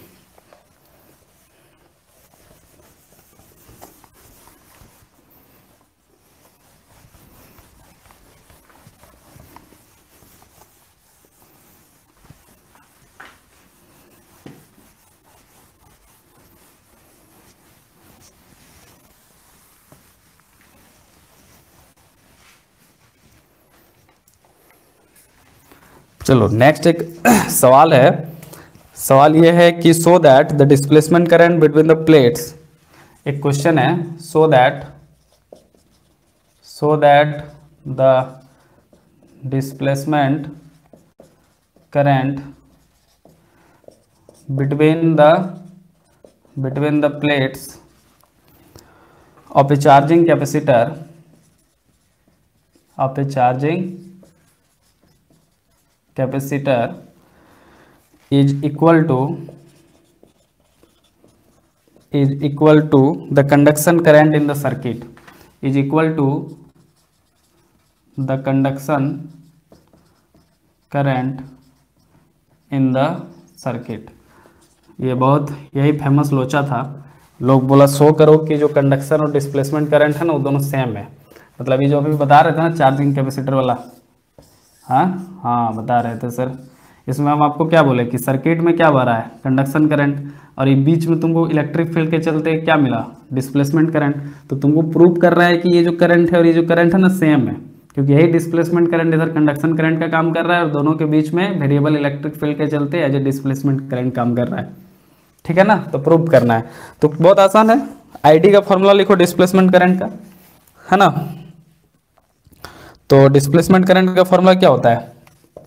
We know that displacement current is mu naught no naught mu naught epsilon naught D phi E by D T ये होता है ना? हाँ सर, यही होता है। Epsilon naught D by D T phi electric flux क्या होता है? ई डॉट ए तो यहाँ पे एरिया और इलेक्ट्रिक फ़ील्ड का एंगल ज़ीरो हो जाता है in general so E A मिल जाएगा। Electric field multiplied by area so epsilon naught D by D T electric field electric field कितना होता है इनके बीच में? होता है सिग्मा बाय एप्साइलन नॉट। और ये एरिया, ठीक है ना? दो प्लेट के बीच में सिग्मा बाय एप्साइलन नॉट ही होता है। ये एप्साइलन नॉट कांस्टेंट है बाहर से और अंदर वाला कट जाएगा क्योंकि डी बाई डी टी में इस कांस्टेंट का कोई रोल नहीं है। कांस्टेंट बाहर ही आ जाएगा, कट जाएगा। बचा क्या बेटा? D by D T sigma है। सिग्मा क्या होता है? Charge per unit area. मान लो इस प्लेट में चार्ज क्यू है। So charge per unit area और यह क्या बचा? एरिया। तो एरिया से एरिया गया। तो आई डी इक्वल टू क्या बचा? D Q by D T और ये सर्किट का कंडक्शन करंट सी के बराबर होता है, हम लोग जानते हैं D Q by D T so proof हो गया, है ना? कि हाँ भैया, ये जो कंडक्शन करंट है और ये जो डिस्प्लेसमेंट करंट अलग अलग नहीं है दोनों सेम है। समझ रहा है ना? लोचा सॉल्व हो गया। लोचा सॉल्व हो गया ना? हाँ चार्जिंग कैपेसिटर का लोचा सॉल्व हो गया डिस्प्लेसमेंट करंट इसका मतलब जो मैक्सवेल ने टर्म दिया था एम्पियर के साथ जो मैक्सवेल ने टर्म दिया वो सही है, यानी मॉडिफाइड मैक्सवेल इक्वेशन सही है, यानी जो रिजल्टेंट मैग्नेटिक फ़ील्ड होगा वो current as well as variable electric field के चलते, दोनों के चलते ही होगा। क्लियर है ये चीज़? हाँ चलिए स्क्रीनशॉट ले लीजिए। ले लिया सबने स्क्रीनशॉट ओके आगे बढ़ते हैं। अब आते हैं हम लोग नया टॉपिक पे जेस्ट का that is Maxwell's field equation नया टॉपिक हमारा क्या है? मैक्सवेल्स फ़ील्ड इक्वेशन अब आते हैं कि क्या क्या इक्वेशंस है, वो सबको देखते हैं। ठीक है ना? स्क्रीनशॉट ले लिया। यही सबसे, जितना अभी तक टिल दिस क्वेश्चन जितना बेटा कॉन्सेप्ट पढ़ा है ना, बहुत ही इंपॉर्टेंट है। खूब सारे भर भर के प्रीवियस ईयर में सवाल आए हुए मैक्सिमम सवाल इस पोर्शन से आते हैं। और उसके बाद एक पोर्शन से electromagnetic energy and density and momentum and Poynting vector है ना? इलेक्ट्रोमैग्नेटिक वेव्स का, वो एक इंपॉर्टेंट टॉपिक है जेस्ट का। वहाँ से भी लोग खूब भर भर के इंटेंसिटी इंटेंसिटी से सवाल देता है। ठीक है ना? तो दो उन लोग का एकदम मतलब प्यारा टॉपिक है और एक स्किन डेप्थ वाला conducting electromagnetic waves in conducting medium and all ठीक है? लेकिन इंपॉर्टेंट सभी है है ना? इंपॉर्टेंट तो सभी है ना? चलो, आपको कुछ भी छोड़ना नहीं है, बहुत मज़ा आ रहा होगा आपको और आगे अभी और मज़ा आने वाला है। बहुत छोटा सा सिलेबस है, आपको एक्स्ट्रा जो पढ़ना है, बहुत बहुत मतलब बड़ा नहीं पढ़ना है, बस मेरे साथ बने रहो, आपको मज़ा आएगा, ठीक है ना? चलो नेक्स्ट जो है that is Maxwell's field equation ठीक है ना? मैं आपको नेक्स्ट क्या पढ़ना है? Maxwell's field equation Maxwell's field equation Maxwell's field equation ठीक है ना? तो मैक्सवेल ने क्या किया था? अब फ़ील्ड इक्वेशन मैक्सवेल का नाम कहा आ रहा है? ये ना चेक किया था। ही check all equation for time dependent E and B Maxwell का इतना ही कंट्रीब्यूशन था कि टाइम डिपेंडेंट इलेक्ट्रिक और मैग्नेटिक फ़ील्ड के लिए सारा इक्वेशन को चेक किया था। इसीलिए सब इक्वेशन को मैक्सवेल के नाम से जानते हैं। मैक्सवेल फ़ील्ड इक्वेशन है ना? तो बस इसका इतना ही कंट्रीब्यूशन है। जैसे अभी हम लोग गॉस लॉ, फ्राडेज लॉ ये सब सब पढ़ेंगे और उसमें देखेंगे कि इसका क्या काम था। इसका खाली काम ही था कि time varying time dependent electric और मैग्नेटिक फ़ील्ड के लिए चेक किया था कि सब इक्वेशन ठीक ठाक है कि नहीं, कहीं कुछ मॉडिफिकेशन तो नहीं करना पड़ेगा ना? जैसे अभी एम्पियर लॉ में किए हम लोग। जैसे टाइम वेरिंग वाला टर्म आया इलेक्ट्रिक फ़ील्ड गड़बड़ा गया इक्वेशन चेक किया, एक नया टर्म जोड़ दिया डिस्प्लेसमेंट करंट वाला। समझ रहे हो ना? तो फिर हाँ ठीक है आप मॉडिफाइड है। तो बस ये वही काम किया था कि टाइम वेरिंग इलेक्ट्रिक और मैग्नेटिक फ़ील्ड के लिए सारा जो पहले इलेक्ट्रो और मैग्नेटोस्टैटिक में तुम इक्वेशन गोस लॉ वगैरह, ये सब फेराडेज लॉ पढ़े थे ना एम्पियर लॉ वगैरह, उस पर क्या किया कि खाली टाइम वेरिंग वाला टॉपिक कंसेप्ट लगा के देखा कि क्या इक्वेशन टाइम अगर वेरिंग इलेक्ट्रिक या मैग्नेटिक फ़ील्ड हो मतलब डिपेंडेंट इलेक्ट्रिक या मैग्नेटिक फ़ील्ड हो तो भी क्या इक्वेशन सही होल्ड कर रहा है कि कुछ कुछ ने गाचने की ज़रूरत है? तो देखा कि तीन वो जो इक्वेशन है ना, वो एकदम ठीक ठाक है टाइम वेरिंग के साथ भी। चौथा वाला जो था ना एम्पियर सर्किटल लॉ जिसको मॉडिफाइड किया अभी हम लोग, वो थोड़ा गड़बड़ था। उसको ठीक ठाक करना पड़ा ठोक ठाक के एक डिस्प्लेसमेंट करंट वाला कंसेप्ट कंसेप्ट लगा के, ठीक है ना? क्लियर है? तीन वो एकदम चकाचक था, चौथा को ठोक ठाक के ठीक कर दिए, ठीक है? बस इसका इतना ही कंट्रीब्यूशन था। सो पहला है हमारा गॉस लॉ इन इलेक्ट्रोस्टैटिक इसका चार गो जो लॉ था, उसमें पहला क्या पढ़ते हैं हम लोग? गॉस लॉ इन इलेक्ट्रोस्टैटिक्स हालाँकि गॉस लॉ इन इलेक्ट्रोस्टैटिक्स है वो वास्तविकता में, लेकिन अब हम लोग एक बार पढ़ लेंगे, जान लेंगे कि कौन किसका लॉ है, फिर फाइनली जो चार पढ़ेंगे, वो चारों के चारों अलग अलग नाम से नहीं जानेंगे। अलग अलग आदमी ने दिया है, लेकिन अभी एक बार पढ़ा पढ़ा दे रहे हैं। उसके बाद फाइनली उस चारों को किसके नाम से जानेंगे? मैक्सवेल फ़ील्ड इक्वेशंस बोलेंगे मतलब वो चारों का चारों तुम लिख देगा एग्ज़ाम में। ठीक है ना? चलो। तो पहला तुम पढ़ा गॉस लॉ इन इलेक्ट्रोस्टैटिक्स सब लोग जानता है इलेक्ट्रिक फ्लक्स जो होता है ई डॉट डी एस किसके बराबर होता है? Q enclose by epsilon naught ये सब लोग जानता है मतलब बच्चा बच्चा भी जानता है ना? इसी को तुम ढंग से लिखेगा ना? इसी को तुम अगर ढंग से लिखेगा तो क्या लिखेगा? आ, अगर तुम लिखना चाहेगा इसको आ, ये तो हो गया इंटीग्रल फॉर्म ना? अगर डिफरेंशियल फॉर्म लिखना चाहेगा तो तुम ये लिखता है divergence of E is equal to rho by epsilon naught और इसको और थोड़ा और फॉर्म में लिखना चाहेगा ना तो एक नया टर्म के टर्म में डिस्प्लेसमेंट वेक्टर डिस्प्लेसमेंट करंट नहीं displacement vector divergence of D के टर्म में लिखेगा तो सिर्फ़ रो क्योंकि एप्सिलॉन नॉट इसके साथ आगे मल्टीप्लाई हो जाता है ना तो डी बन जाता है। ठीक है ना? तो ये दोनों इक्वेशन है। ये क्या इंटीग्रल फॉर्म है। ये क्या है उसका? इंटीग्रल फॉर्म है। और यह क्या है? डिफरेंशियल फॉर्म है। हम लोग ज़्यादा प्रीफर किसको करते हैं? डिफरेंशियल फॉर्म को। हम लोग ज़्यादातर प्रीफर इस फॉर्म को करते हैं। जब भी मैक्सवेल फ़ील्ड इक्वेशन लिखना है तो ये फॉर्म लिखना। उसमें भी बहुत लोग इसको प्रीफर करते हैं, बहुत बुक इसको प्रीफर करता है। डजेंट मैटर क्योंकि क्या है यार, तुम लोग को सबको मालूम है इलेक्ट्रोस्टैटिक पढ़ा होगा डिस्प्लेसमेंट वेक्टर होता है एप्सिलॉन इनटू ई 2019 में तो एक सवाल भी आया था इलेक्ट्रिक फ़ील्ड दिया था एफसेलन नॉट से मल्टीप्लाई करके डी निकालने बोला था। ठीक है ना? तो चलो, ये Gauss law in electrostatic clear है? ये ठीक ठाक था, इसको ठोंक ठाक के देखा ही ठीक था। ठीक है ना? समझ पा रहे हो? ओके वैसे हालाँकि इसका जो फॉर्मूला होता है ना यहाँ पे एक पोलराइजेशन वेक्टर भी यहाँ पे ऐड होता है नो no डाउट अभी हम लोग नॉन अगर नॉन पोलराइज ऑब्जेक्ट लेगा तो ये कैंसिल हो जाता है. नॉन पोलराइज ऑब्जेक्ट लेगा तो पोलराइजेशन वहाँ पे होता नहीं है तो ये खत्म हो जाता है, बचता सिर्फ़ ये वाला टर्म है. ठीक है ना? तो उससे घबराने का नहीं. क्लियर है? उससे आपको घबराने का नहीं. समझ पा रहे हैं ना मेरा बात? हाँ. इन जनरल ये इसका डिस्प्लेसमेंट टोटल फार्मूला है, लेकिन पोलराइजेशन अपसेंट होकर पोलराइजेशन ज़ीरो हो तो ये पोलराइजेशन है. कुछ और मत समझ लेना. पोलराइजेशन है, ठीक है ना? अगर ज़ीरो हो तो फिर ये चीज़ सेटिस्फाई होगा, ठीक है? फ्री स्पेस पे। और ये जो होता है ना फ्री चार्ज डेंसिटी होता है, एक इंड्यूस चार्ज डेंसिटी होता है, एक फ्री चार्ज डेंसिटी तुम लोग मालूम पढ़ाए थे हम इलेक्ट्रो मतलब क्लास व्लास करवाए थे, एक पेड कोर्स करवाए थे, उसमें खूब क्वेश्चन पढ़वाए थे। जो रो इंड्यूस्ड होता है ना, वो कितना होता है? माइनस डाइवर्जेंस ऑफ़ पोलराइजेशन ये मालूम है तुम लोग को? हाँ मालूम होगा। जो रो इंड्यूस्ड होता है, वो minus of divergence of polarization होता है। और जो रो, ये जो यहाँ पे जो फॉर्मूला हम दिख रहा है ना फ्री चार्ज डेंसिटी है क्या है? फ्री चार्ज मतलब जो ऊपर से चार्ज फ्री हो रही है, वो सब है। और जो इंड्यूस्ड होता है अंदर में, कुछ कुछ कहानी होने के चलते वो इतना के बराबर होता है, ठीक है ना? तो हम लोग जो यहाँ यूज़ करते हैं फ्री चार्ज डेंसिटी है, ध्यान रखना इंड्यूस्ड नहीं इंड्यूस्ड के फॉर्मूला होता है। क्लियर है सबको? हाँ भैया क्लियर है। तो this is Gauss law in electrostatic and first law of Maxwell equation मतलब फ़र्स्ट मैक्सवेल इक्वेशन ठीक है? इसी को बोलते हैं फ़र्स्ट मैक्सवेल इक्वेशन ज़्यादा प्रीफर करते हैं डिफरेंशियल फॉर्म को, ना कि इंटीग्रल फॉर्म को। हालाँकि इंटीग्रल फॉर्म भी आप प्रीफर करेंगे, कोई बात नहीं, आप एक लाइन में लिख लेंगे इसको। गॉस डाइवर्जेंस थ्योरम लगाएँगे आप पहुँच जाएँगे, ठीक है ना? उसके बाद आता है गॉस लॉ इन मैग्नेटोस्टैटिक दूसरा क्या आता है? Gauss law in magnetostatics Gauss law in magnetostatic क्या होता है भैया? सबको मालूम है, मैग्नेटिक फ्लक्स ज़ीरो होता है तो B dot D S equal to zero अब ये तो इंटीग्रल फॉर्म हो गया। डिफरेंशियल फॉर्म क्या? होगा डाइवर्जेंस थ्योरम लगाओ। गॉस डाइवर्जेंस थ्योरम लगाओगे तो divergence of B is equal to zero ये जाएगा ना? यहाँ से लगाओगे गॉस डाइवर्जेंस थ्योरम तो सरफेस इंटीग्रल को वॉल्यूम इंटीग्रल में कन्वर्ट कर देगा।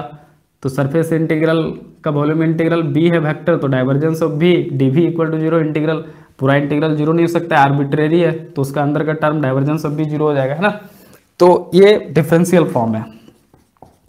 ये डिफरेंशियल फॉर्म है और ये इंटीग्रल फॉर्म है किसका? गॉस लॉइन मैग्नेटोस्टेटिक मैग्नेटोस्टैटिक का और this is called Maxwell second equation Maxwell second equation this is Maxwell first equation this is Maxwell second equation ज़्यादातर हम लोग प्रीफर किसको करते हैं बेटा? डिफरेंशियल फॉर्म को। हालाँकि दोनों सिमिलर है, एक से दूसरे में जा सकते हैं। प्रीफर ज़्यादा क्या करते हैं? डिफरेंशियल फॉर्म लिखना आसान होता है, ठीक है ना?